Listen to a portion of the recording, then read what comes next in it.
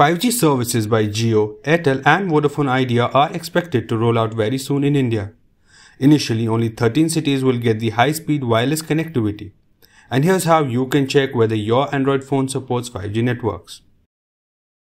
Go to settings on your smartphone. Then tap on the connections or Wi-Fi and network. Further, go to mobile networks option.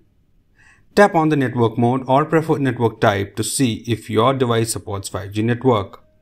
If 5G is listed amongst the options, then your phone supports 5G. If it isn't, then it doesn't. And for everything tech, don't forget to log on to gadgets360.com.